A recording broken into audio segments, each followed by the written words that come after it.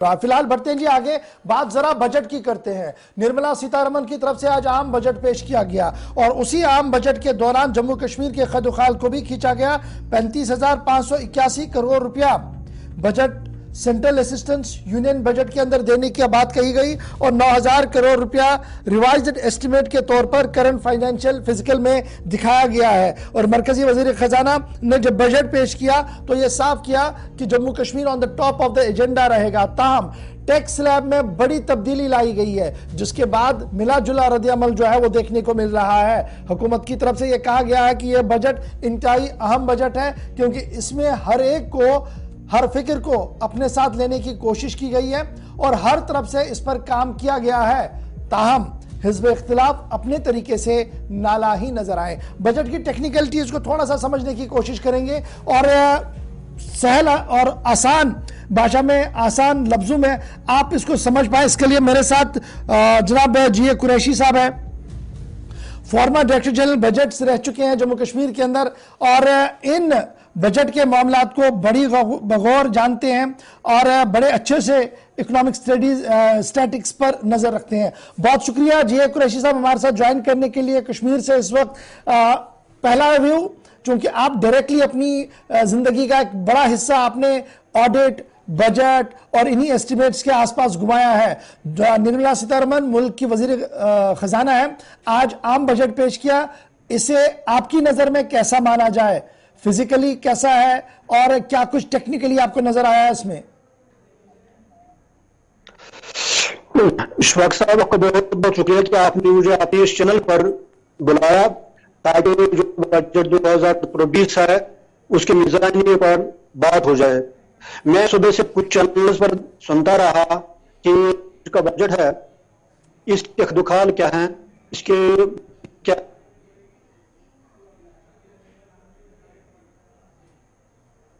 हद तक ये इसको किस हद तक वो कामयाब कर सकेंगे ये वो अहदा हासिल करने में लेकिन लेकिन सबसे पहले मैं ये आपसे ये शेयर करना चाहता हूँ कि पहले हम ये जो तो आज का बजट है दो हज़ार चौबीस बीस का इसके इसका मजमू हज कितना है? क्योंकि सुबह से सारे नागरिक ये बेकअप होंगे सुनने के लिए इसका हजम कितना है? इसका बेकअप कितना है?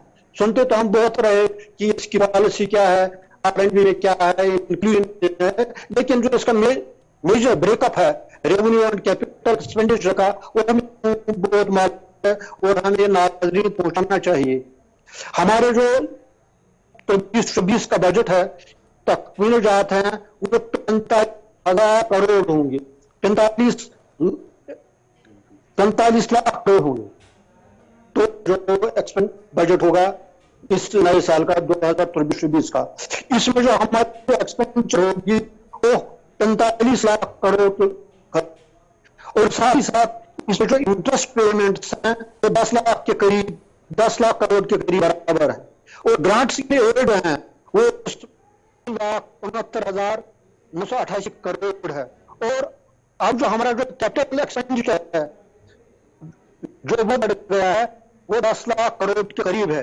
अगर आप इसमें सरसरी निगाह डालेंगे तो हम देखेंगे कि जो मजी के दस सालों में बजट हुए उसके बरक्स इस साल रेवेन्यू एक्सपेंडिचर कोई ज़्यादा नहीं बढ़ा है। सिर्फ़ पिछले साल की नस्बत हमारी टोटल रेवेन्यू एक्सपेंडिचर है, उसकी एक परसेंट करीब बढ़ी है। और जो कैपिटल बजट है, जो वाकई तरक्की बजट होता है, जो मनसूब पर, जो पॉलिसीज़ पर, जो प्रोजेक्ट्स पर, जो फलाई स्कीमों खर्च होता है? इसमें करीबन थर्टी फोर परसेंट इंक्रीज हुआ है। यह पिछले साल हमारा टैक्स बजट था वो सात लाख अट्ठाईस हज़ार दो सौ चौहत्तर करोड़ का। इस साल ये दस लाख और नौ सौ करोड़, यानी कैपिटल बजट में।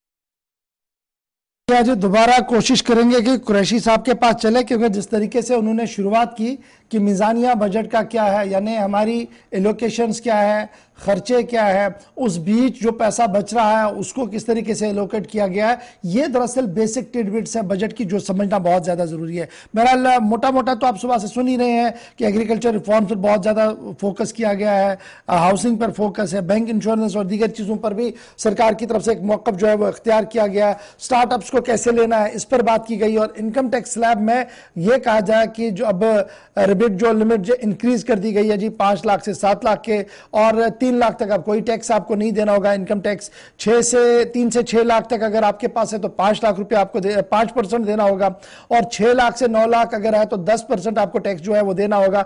इसी तरीके से टैक्सिंग के मामले में नौ लाख से बारह लाख की आमदनी पर अब आपको पंद्रह फ़ीसदी टैक्स देना होगा और इसी तरीके से बारह से पंद्रह फ़ीसदी में, बीस फ़ीसदी टैक्स के दायरे में आप आ रहे हैं पंद्रह से ऊपर अगर आप जा रहे हैं तो तीस फ़ीसदी का टैक्स जो है वो लगेगा। मुझे कहा जा रहा है कि जनाब कुरैशी साहब दोबारा ज्वाइन कर चुके हैं। बहुत शुक्रिया कुरैशी साहब, ये दरअसल आवाज़ बीच में कट रही थी। आप कंटिन्यू करें जी अपनी बात को, क्योंकि आपने जिस तरीके से शुरू किया था, बड़ा इंपॉर्टेंट ये है। तो मैं आपसे ये आपसे ये कह रहा था कि जो कैपिटल बजट है या जो डेवलपमेंटल बजट है, उसमें करीबन टेन थर्टी फोर परसेंट इजाफा हुआ है। लेकिन हम जब हम इस कैपिटल एक्सपेंडिचर के साथ ग्रांट्स इन एड भी मिलाएँ तो हमारी जो कैपिटल जो कैपिटल बजट है वो तेरह लाख सत्तर हज़ार नौ सौ उनचास करोड़ होगा। यानी हमारा जो इफ़ेक्टिव कैपिटल बजट है वो करीबन सैंतीस परसेंट पिछले साल से बढ़ा है। ये वाकई एक खुश आयन कदम है और हम उम्मीद करते हैं कि जो फलाही स्कीमें हैं जो तरक्याती मनसूबे हैं और जो तरक्याती प्रोजेक्ट हैं, उन पर खाते का जो रुकूमत हैं, उनको, उन पर खर्च किया जाएगा। और जो इस बजट का जो मजमू मुद्दा है कि एक इंक्लूसिव डेवलपमेंट हो इंक्लूसिव ग्रोथ हो, और हमारी जो इकानमी दो तक जो ऑनरेबल प्रेसिडेंट ने भी अपने स्पीच में कहा कि हमारा जो विजन है नए पच्चीस साल में कि हम दो तक हमारी इंडियन इकोनॉमी न सिर्फ़ लार्जेस्ट फास्ट ग्रोइंग इकोनॉमी होगी बल्कि दो हज़ार तक हम हमारा मुल्क जो हमारी माशत है वो खुद कफील और खुद इसमें खुद इंसारियत आएगी it will be self generating and self friend economy अच्छा ये ये ये ये बड़ा इंपॉर्टेंट है। जो मैं आप तक पहुंचाना चाहता हूँ। जी ये तो बड़ा इंपॉर्टेंट है क्योंकि ये वो बात थी जो टेक्निकल लोग ही जान सकते हैं कि आखिर क्या वाकईतन जो कुछ कहा गया उसके पीछे कोई लॉजिक है या नहीं? क्योंकि बहुत सारे लोग ये कहते हैं कि ज्वेलरी ऑफ़ वर्ड्स है जी, इसलिए इसको इस तरीके से बड़े खूबसूरत अंदाज में पेश किया गया, लेकिन आपने एक एक्सरे करके पोस्टमार्टम किया है। अब दो तीन सेक्टर्स बड़े इंपॉर्टेंट है। बेरोजगारी पर काबू करना है तो हमारे पास इंफ्रास्ट्रक्चर और डेवलपमेंट सेक्टर बड़ा इंपॉर्टेंट है। उसको जिस तरीके से टैकल करने की कोशिश सरकार ने की है, क्या आपको उम्मीद है कि साल दो हज़ार के दौरान कुछ कामयाबी सरकार के हाथ लगेगी इस पूरे मंसूबे को देखते हुए? हाँ जो इस साल का जो बजट है, सबसे पहले जो मैंने विधा में कहा कि चूँकि हमारा जो कैपेक्स बजट वो बड़ा है, लिहाजा बहुत सारे सेक्टर्स हैं जिसमें जो एम्प्लॉयमेंट जनरेटिंग है और जो आल्सो वेलफेयर स्कीम्स जो हैं, उनमें ज़रूर बढ़ोतरी हुई होगी और खासकर जो हमारा housing and urban development sector है, उसमें कुछ सिक्सटी सिक्स परसेंट इंक्रीज हुआ है। इसी तरीके से जो प्राइम मिनिस्टर्स इस साल रेवेन्यू एक्सपेंडिचर कोई ज़्यादा नहीं बढ़ा है। सिर्फ़ पिछले साल की नस्बत हमारी टोटल रेवेन्यू एक्सपेंडिचर है उसकी एक परसेंट करीब बढ़ी है। और जो कैपिटल बजट है, जो वाकई तरक्की बजट होता है, जो मनसूब पर, जो पॉलिसीज़ पर, जो प्रोजेक्ट्स पर, जो फलाई स्कीमों खर्च होता है, इसमें करीबन थर्टी फोर परसेंट इंक्रीज हुआ है। यह पिछले साल हमारा जो टैक्स बजट था, वो सात लाख अट्ठाईस हज़ार दो सौ चौहत्तर करोड़ का इस साल ये दस लाख और नौ सौ करोड़, यानी कैपिटल बजट में।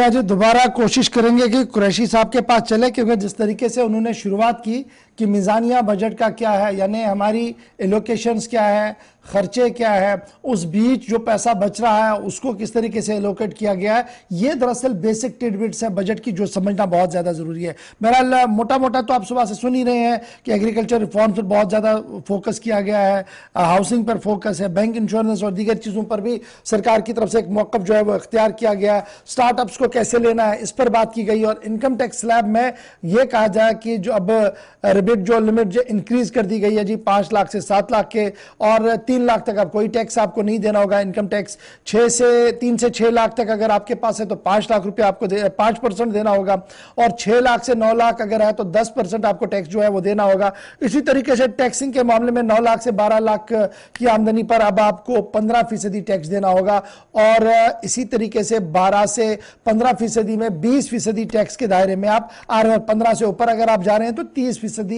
का टैक्स जो है वो लगेगा। मुझे कहा जा रहा है कि जनाब कुरैशी साहब दोबारा ज्वाइन कर चुके हैं। बहुत शुक्रिया कुरैशी साहब। ये दरअसल आवाज़ भी इसमें कट रही थी। आप कंटिन्यू करें जी अपनी बात को क्योंकि आपने जिस तरीके से शुरू किया था बड़ा इंपॉर्टेंट ये है।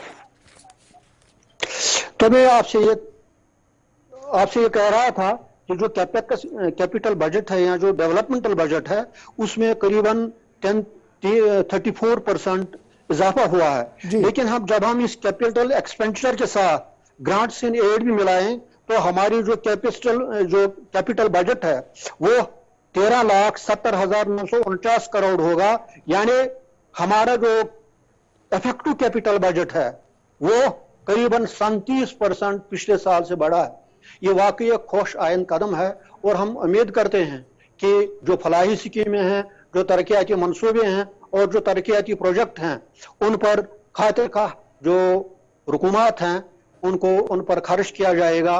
और जो इस बजट का जो मजमू मुद्दा है कि एक इंक्लूसिव डेवलपमेंट हो इंक्लूसिव ग्रोथ हो, और हमारी जो इकानमी दो तक जो ऑनरेबल प्रेसिडेंट ने भी अपनी स्पीच में कहा कि हमारा जो विजन है नए पच्चीस साल में कि हम दो तक हमारी इंडियन इकोनॉमी न सिर्फ़ लार्जेस्ट फास्ट ग्रोइंग इकोनॉमी होगी, बल्कि दो तक हम हमारा मुल्क जो हमारी माशत है वो खुद कफील और खुद इसमें खुद इंसारियत आएगी it will be self generating and self friend economy अच्छा ये ये ये ये बड़ा इंपॉर्टेंट है। जो मैं आप तक पहुंचाना चाहता हूँ। जी ये तो बड़ा इंपॉर्टेंट है क्योंकि ये वो बात थी जो टेक्निकल लोग ही जान सकते हैं कि आखिर क्या वाकईतन जो कुछ कहा गया उसके पीछे कोई लॉजिक है या नहीं? क्योंकि बहुत सारे लोग ये कहते हैं कि ज्वेलरी ऑफ़ वर्ड्स है जी, इसलिए इसको इस तरीके से बड़े खूबसूरत अंदाज में पेश किया गया, लेकिन आपने एक एक्सरे करके पोस्टमार्टम किया है।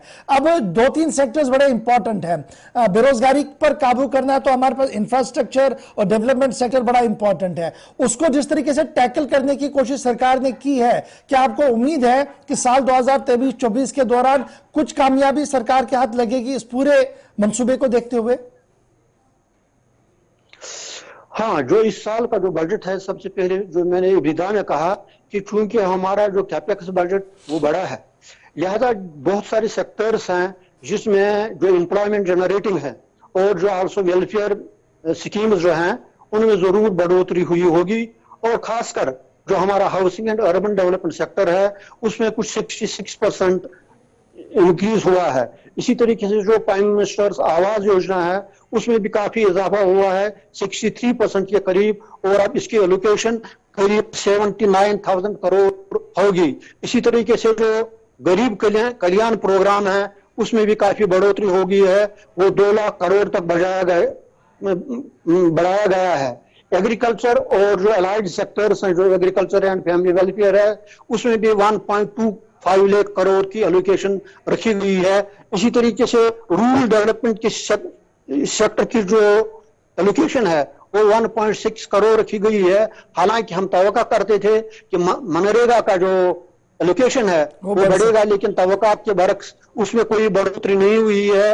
ये ये एक पॉइंट है जो मुझे लगता है थोड़ा सा मायूस कन भी है अच्छा, क्योंकि हमारी रूरल इकोनॉमी में नरेगा का बहुत अहम रोल रहा। बिल्कुल। कुरैसा बड़ा इंपॉर्टेंट ये है जी, आम लोगों को क्या है इस बजट में? जिससे आम लोगों को लगे कि हाँ यार, ये चीज़ें हैं जी जो मेरे लिए है, ये फ़ायदेमंद है मेरे लिए और सरकार ने मेरे लिए कोई मंसूबा खींचा है? हाँ ये बजट में जो फाइनेंस साहिबा ने कहा कि एक तो जो आम आदमी है, उनके लिए फ़ूड सिक्योरिटी का जो इनकी पॉलिसी है, वो बरकरार रही और जो फ़ूड सब्सिडी है जिससे आदमी को आम आदमी को भी इसे फ़ायदा मिलता है। उसमें उन्होंने 1.97 करोड़ सब्सिडी रही है।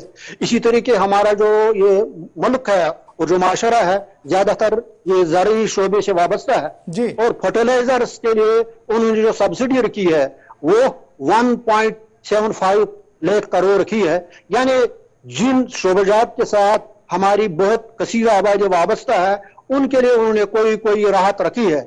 इसी तरीके से जो मिडिल इनकम ग्रुप हमारा है, उनको इनकम टैक्स की छूट दी गई है इनकम स्लेब बढ़ गया है, ढाई लाख से तीन लाख हो गया है, और सात लाख कोई इनकम टैक्स रिबीट रिबेट है। लगता है, और जो इसी तरीके से जो दूसरा इसमें जो जीएसटी कलेक्शन है, वो बढ़ गई है। हम समझते हैं कि ओवरऑल जो टैक्स में उन्होंने, उनमें कमी की है इनकम टैक्स स्लेब में तो और जो ये गरीब गरीब कल्याण आवास जो योजना है उसकी एलोकेशन भी बहुत बढ़ गई है। उसमें कई 66 परसेंट एनहांसमेंट उन्होंने नए साल के लिए रखी है। लिहाजा हम समझते हैं कि आम आदमी को या मिडिल क्लास जो है उनको ज़रूर किसी न किसी तरीके से राहत पहुंचेगी जिसकी तो की जा की जाती अच्छा ता, ताजिर चूँकि पूरे मुल्क के ताजर ताजरों की जब मैं बात करूँ, और फिर जम्मू कश्मीर के जाविये से जब मैं बात करूँ, क्योंकि जम्मू कश्मीर में थोड़ी देर में आपके साथ गुफ्तु शुरू करूँगा। ताजरों के हवाले से वो जो एक्सपेक्टेशन लेवल होती है कि जनाब हमारे टैक्स डिडक्शन हो जाएगी टैक्स को थोड़ा सा रिबिट मिलेगा, थोड़ी सी कमी होगी, कुछ मुराद मिलेंगे, कुछ सब्सिडियाँ मिलेंगी, वो आज मुझे ज़्यादा नज़र नहीं आया। मुझे नज़र नहीं आया वाक्यतन, उतना बड़ा नहीं है जो कॉरपोरेट हमेशा कहते हैं कि कॉरपोरेट बजट है जी। क्या आज भी कॉरपोरेट बजट है या आज कुछ और है ये? हम तो क्योंकि बजट बजट का सरसरी जायजा ही हम पेश कर रहे हैं। अब ये इब्तदाई तासुरात हैं। मैंने सारी सेक्टोरल स्कीम जो है इनका स्कीमेटिक ब्रेकअप है या इसका जो सेक्टोरल जो इसकी ये ब्रेकअप है वो सारा का सारा मैं नहीं दे सका। अलबत् जितना मैंने अभी तक जो एजाद शुमार मेरे पास आए, मुख्तलिफ़ चैनल्स के साथ, उसमें समझता हूँ कि इंडस्ट्री को भी थोड़ा बहुत रिलीफ दिया गया है। लेकिन जहाँ तक जम्मू कश्मीर का ताल्लुक है, हालाँकि फाइनेंस मिनिस्टर ने अपने बजट में ये दावा भी किया है, ये कमिटमेंट भी किया है कि जो जम्मू कश्मीर है, लद्दाख है, या जो नॉर्थ ईस्टर्न स्टेट्स है, वो हमारे टॉप मोस्ट कंसिडरेशन पर रहेगी। क्योंकि एक पॉलिसी जो उनकी थी reaching to the last mile उसका यही है जो शेड्यूल कास्ट हैं या जो शेड्यूल ट्राइब लोग हैं उनके जो कंसर्न हैं उनके जो मसाइल हैं उनको उनको उनकी तरफ़ निगाह डाली जाए उनकी तरफ़ तवज्जो दी जाए और इसी तरीके से जो बॉर्डर एरिया है जिसमें हमारा जम्मू कश्मीर भी है लद्दाख भी है और पर्टिकुलरली नॉर्थ ईस्टर्न स्टेट्स हैं जी। इनकी एलोकेशन भी ज़रूर बड़ी है, लेकिन वो इनके जब स्टेट बजट पेश होंगे, उसमें उनके तफासिल होंगे। कोई साहब चूँकि स्टेट बजट की बात हुई, हमारा बजट तो दिल्ली में ही पेश होना है, निर्मला सीतारमन साहबा ने डिटेल बजट रखना है। लेकिन आज दो बातें बड़ी इंपॉर्टेंट है, जिसकी मैं वजाहत चाहूँगा, ताकि जम्मू कश्मीर के नाजरीन को हमें पता लगे कि क्या मिला है। पैंतीस हज़ार पाँच सौ इक्यासी करोड़ रुपया सेंट्रल असिस्टेंस होगी जी यूनियन बजट में। आम आदमी को कैसे मैं समझा पाऊँ या आप समझा पाए? क्या है ये इसका मतलब? क्या ये बजट टोटल आउटले है या ये बजट का एक हिस्सा है? हाँ ये समझो, ये यही असल में हमारा यही बजट होगा, पैंतीस हज़ार। नहीं, ये उसका एक्चुअली ये ये उसका एक हिस्सा है। असल में अगर हम देखेंगे अगर मुझे अपना हाफिजा साथ देगा पिछले साल का जम्मू कश्मीर का बजट था वो एक लाख करोड़ एक लाख दस हज़ार के करीब होगा। जी। मैं आपको कहता हूँ कि ये जो ग्रांट सेंट्रल असिस्टेंस है ये उस बजट का एक हिस्सा होगा। लेकिन मैं ये पहले ही कहना चाहता हूँ कि हमें ज़्यादा हम ये नहीं चाहिए कि रातों रात इसमें इतना बहुत ही जंप होगा बल्कि इसमें भी दस पंद्रह परसेंट हर साल एक कंटिन्यूस एक प्रोसेस होता है। दस पंद्रह बीस परसेंट इससे ज़्यादा हाइक नहीं होगा। अगर पिछले साल का बजट हमारा एक लाख दस हज़ार करोड़ के करीब होगा। इस साल मुमकिन है एक तीस पैंतीस के करीब होगा जिसमें ये पैंतीस हज़ार करोड़ जिसकी आपने बात की ये उसमें सेंट्रल असिस्टेंस होगी। यानी ये मेन बजट का जो मरकज की तरफ़ से हमें असिस्टेंस मिलती है उसका हिस्सा है। हाँ ये ये इनको ज़रूरी रखना होता है अपने सेंट्रल बजट में। अच्छा जी जो इसमें तो हमारा स्टेट बजट एक अच्छा ब- बड़ी इंपॉर्टेंट ये कहा गया कि इसी our state budget right sir कोई सब बड़ा इंपॉर्टेंट है। नौ हज़ार करोड़ रुपया revised estimate for current fiscal year रखा गया है, व- व- कहा गया है। इस, इसका क्या मतलब माने? ये एक्चुअली पहले उन्होंने कोई किया होगा ये जिस एक्सपेंडिचर रेवेन्यू में है कि कैपिटल में है मैंने तो ये देखा नहीं ये उसका रिवाइज रिवाइज फिगर होगा। तो ये कह रहे हैं कि नौ हज़ार करोड़ लेकिन इसकी सारी तफसील अब स्टेट बजट में होगी। स्टेट बजट में होंगी। तो कुल मिलाकर जब टूरिज़्म की हम बात करते हैं तो आज मोहतरमा ने इस बात को भी इशारा दिया कि जनाब टूरिज़्म हमारी बड़ी टॉप प्रायोरिटीज रहेंगी। तो जब टूरिज़्म का ख्याल आता है तो तुरंत से हम जम्मू कश्मीर की ओर भी देखते हैं। तो क्या हम ये एक्सपेक्ट करें कि यूनियन गवर्नमेंट का जब टूरिज़्म का बजट आएगा उसमें अलहदा तौर पर कुछ चीज़ें होंगी जो जम्मू कश्मीर के लिए भी लाई जा सकती हैं या जो हमारा बजट जब आएगा अलहदा से उसमें उसकी रिफ्लेक्शन होगी?